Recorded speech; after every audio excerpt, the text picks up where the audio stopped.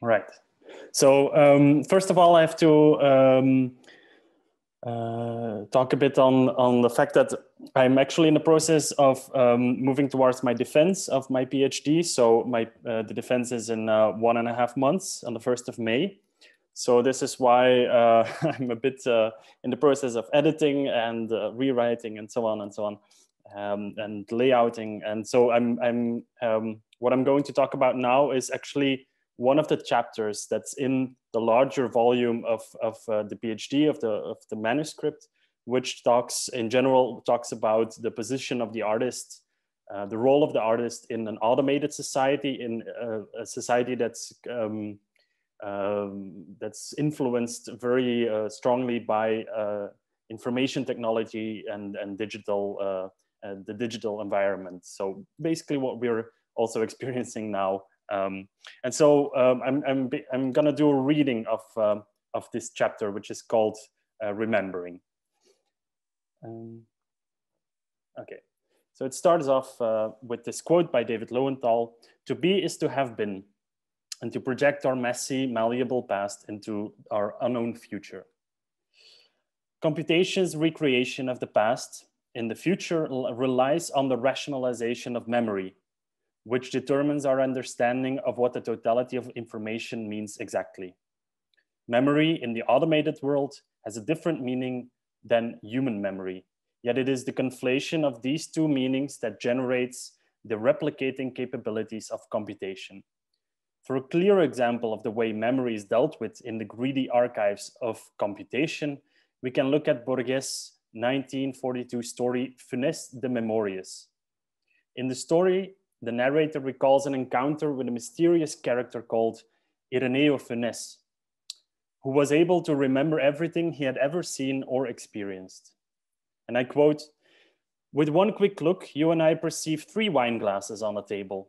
Funes perceived every grape that had ever been pressed into the wine and all the stalks and tendrils of its vineyard.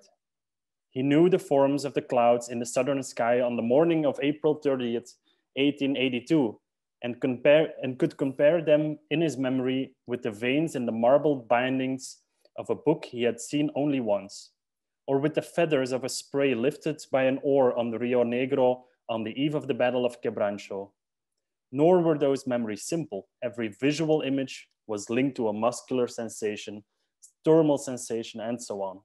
He was able to reconstruct every dream, every daydream he ever had, Two or three times he had reconstructed an entire day.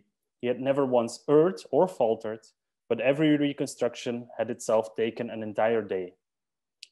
I myself alone have more memories than all mankind since the world began, he said to me. And also, my dreams are like other people's waking hours.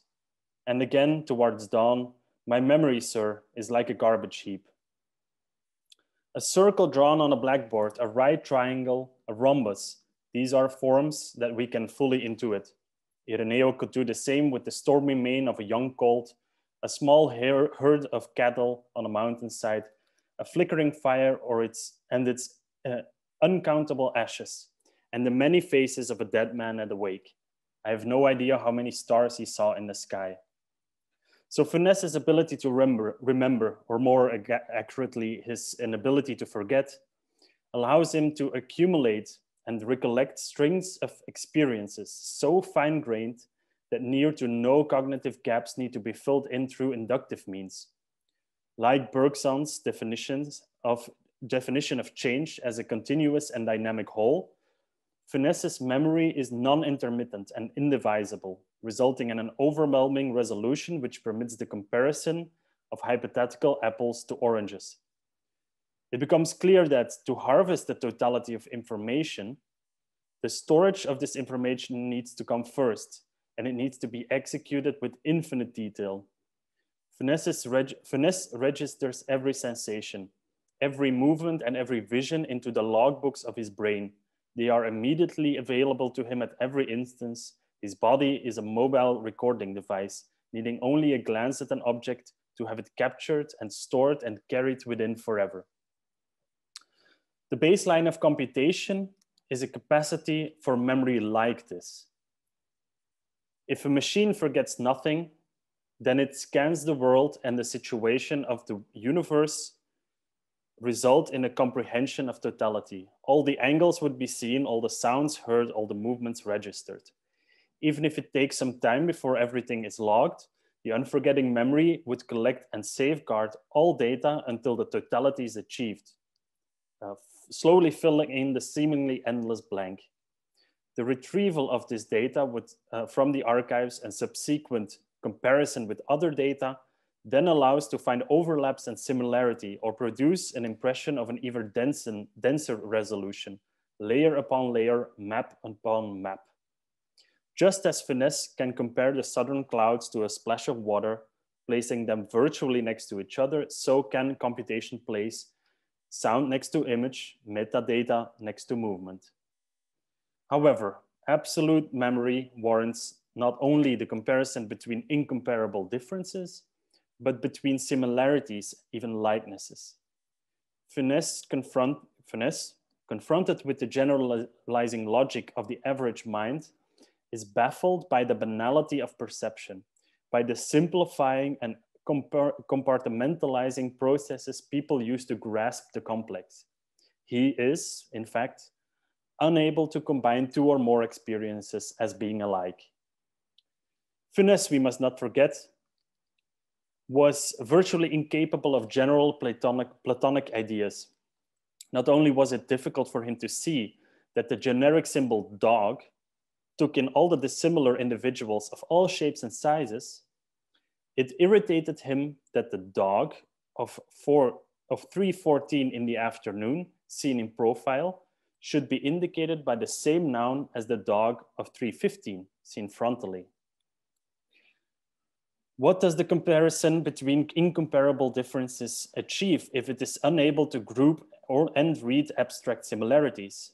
In computational thinking, similarities are referred to as patterns, which is a way to describe recurring sequences or strings of data from different sources.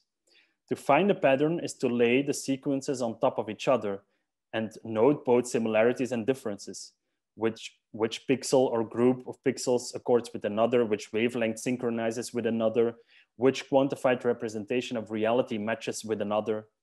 This understanding is similar in its, uh, is, uh, this understanding of similarity is entirely different from what Borges defines as similarity. Indeed, a dog seen from the side on a sunny day and then seen frontally on a cloudy day is visually not the same dog.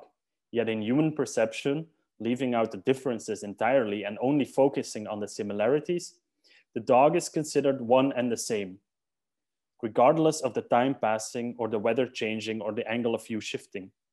It is in this sense that the percep perception of computation based on a flawless and complete memory differs from the faulty and messy mind of mankind. To put it in Borges's words, to ignore is to forget, uh, to think is to ignore or forget differences, to generalize, to, to abstract. And as, and, and as computers are incapable of forgetting or ignoring, their vision of the world remains particular, built up from endless and immediate particulars. Bergson describes the same process of abstraction in a different way. He assumes that our mind is indeed capable of perceiving particulars, but that the breaking up of the continuity into particulars, into intervals, allows the mind to bring certain events to the front and send others to the back. When two changes, that of the object and that of the subject, take place under particular conditions, they produce the particular appearance that we call a state. And once in possession of states, our mind recomposes change with them. There is nothing more natural the breaking up of change into states enables us to act upon things. And it is useful in a practice, practical sense to be interested in the states rather than the change itself. Like computation, which breaks down change into particulars, into states, or better into fixed numbers, human perception cuts the continuous flow of information into befores and afters. Computation, however, is unable to select, to choose between these states. By adding more and more states to the memory without deleting what is in between, perception re reaches a point at which it reconstructs the graduality of change again, like a camera producing 24 images and placing them so tightly together that the difference between the images blurs into a continuous movement. The human mind selects, first by breaking up the flow of changes into states and then by isolating specific states and white out others. The facts show us, and I quote Bergson again, the facts show us in normal psychological life a constant effort of the mind to limit its horizon, to turn away from what it has a material interest in not seeing. Before philosophizing, one must live. And life demands that we put on blinders, that we look neither to the left, nor to the right, nor behind us, but straight ahead in the direction we have to go.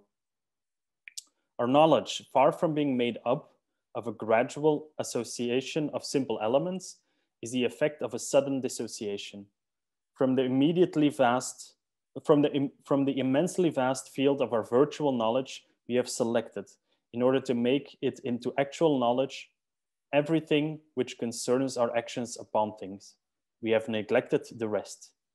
The brain seems to have been constructed with a view to this work of selection that could be easily shown by the way in which memory works. Our past is necessarily automatically preserved. It, serves, it survives complete. But our practical interest is to thrust it aside or at least to accept it, or at least to accept of it only what can more or less be usefully, uh, more or less usefully illuminate and complete the situation in the present. The brain serves to bring about this choice. choice.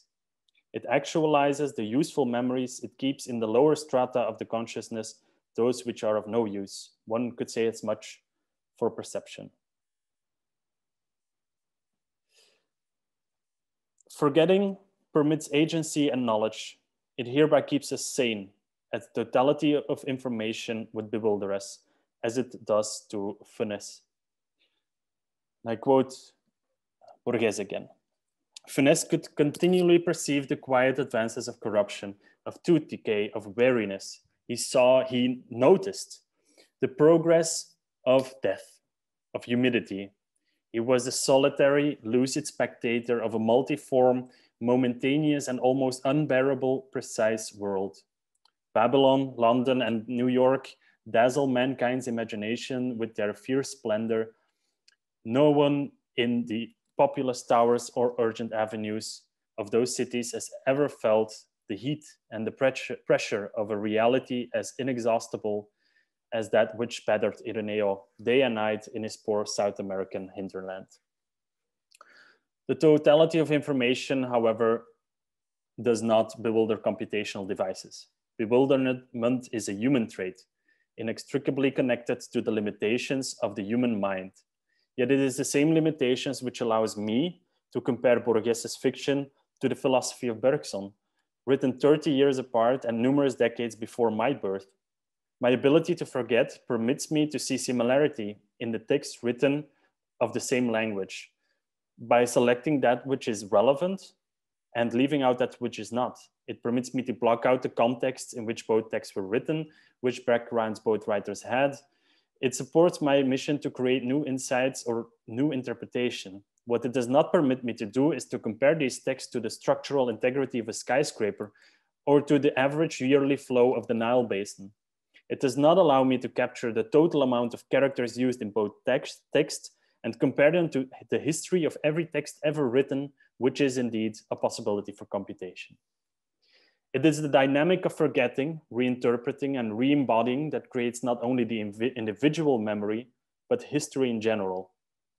That is, the collection of past experiences and the selection of the memory of the memories captioning those experiences the limitation active in the human mind is also one that is mirrored by the succession of generations in a community. Mm-hmm. Next slide. Ah, there we go. Okay. People don't do not just forget, they also die, perhaps the most extreme form of forgetting. Their experiences are lost or when written down or registered otherwise, unprotected by their originator, and thus again open to interpretation. The past inescapably recedes away from the present, taking with it the ideas and memories of those who have passed away. All that is left are the traces they leave behind, either in direct transmission to another or in another physical form. Normalization is intrinsically a fictionalization from the past projected into the future, a narrative built on the ruins of bygone days, solidified in the collective memory as a given. It, its origin is forgotten, irretrievably lost in the inevitable progression of time, which forces memories to fade and generations to pass. The process that forms normalizations is therefore based on the same selective procedure performed by the brain. To make sense of the residue of the past, we include some traces and sources and leave out others, creating a consistent whole with a logical, reasonable narrative. Historian David Lowenthal describes this relationship to the past as a visit to a foreign country, where the similarities of differences and differences are extracted selectively from experience and subsequently in, internalized as normal to straighten out this unknown territory. The past itself is gone. All that survives is its material residues and the accounts of those who experience it. No such evidence can tell us about the past with absolute certainty, for its survivals on the ground in books or in our heads are selectively preserved from the start and further altered with the passage of time.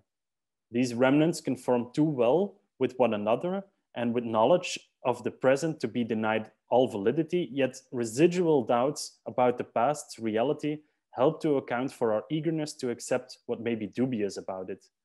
There can be no certainty that the past ever existed, let alone in the form we now conceive it. But sanity and security require us to believe that it did. Interpreting the past as a way to avoid its complexity or escape its inexhaustible heat and pressure, like for Funes, by cognitively knitting together and selection, uh, a selection of the remnants is not only what keeps us sane, but also what allows us to take a glimpse through the experience of hindsight at what may be to come. It provides a sense of security, of certainty by infusing the narrative with present conformities, we highlight similarities. When what happens now has happened in the past, it reassures us of the outcome. So Lowenthal continues, continues. Uh,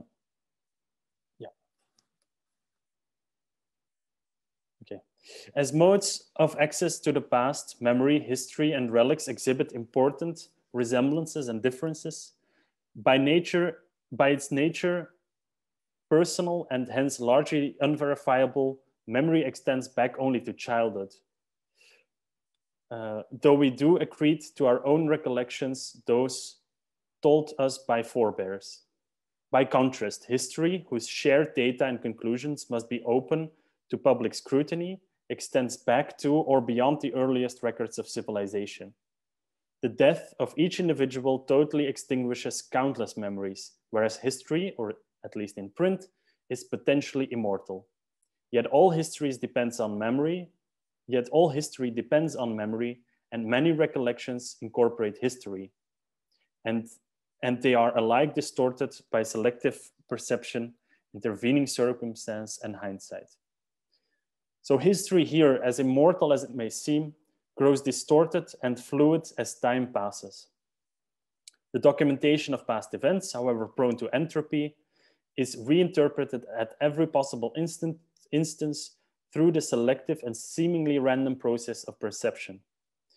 As the documentation is never complete and total, and as that which is document is dis documented is dispersed again by future generations, it, the past becomes malleable. Computation's approach to memory, however, and therefore history, goes beyond interpretation. Computation annuls distortion by selective perception or hindsight, putting in place a neutrality based on the comprehension of this totality of the past. So the potential immortality of history made it manifest. Forgetting is completely ignored by computation. And for philosopher Byung-Chul Han, marks the difference. Human memory is a narrative, an account. Forgetting forms a, necessary component. In contrast, digital memory is a matter of seamless addition and accumulation. Stored data admit counting, but they, do, uh, but they cannot be recounted. Storage and retrieval, retrieval are fundamentally different from remembering, which is a narrative process. Likewise, autobiography constitutes a narrative. It is a memorial writing. A timeline, on the other hand, recounts nothing. It simply enumerates and adds up events and or information. The dream of computation begins to unravel once we frame it as the fictionalization that it is, as it is, as is the case with any automation and the promises that comes with, then the promises that come with it. The idea that the scale of the totality of information, if it ever could be ascertained, would be of any use to us all, uh, would be of any use at all to us, is formally untrue. In Borges' story, Funes had reconstructed an entire day two or three times, and he had never once erred or faltered, but each reconstruction had itself taken an entire day. Totality, likewise, takes totality to operate. So if no cropping of information is made, then no conclusion can be drawn, and a simulation which we create is no different from reality itself. This reminds us of another story by Borges, only the length of a paragraph. In that empire, the art of cartography attained such perfection that the map of a single province occupied the entirety of a city, and the map of the empire the entirety of a province. In time, those unconscionable maps no longer satisfied, and the cartographer's guild struck a map of the empire whose size was that of the empire, and which coincided point for point with it. The following generations, who had not been so fond of the study of cartography as their forebears, forebears had been, saw that the vast map was useless, and not without some pitilessness was it that they delivered it up to the inclemencies of sun and winter. In the deserts of the West, still today, there are tattered ruins of that map, inhabited by animals and beggars. In all the land, there are no other relics of the disciplines of geography. Thank you.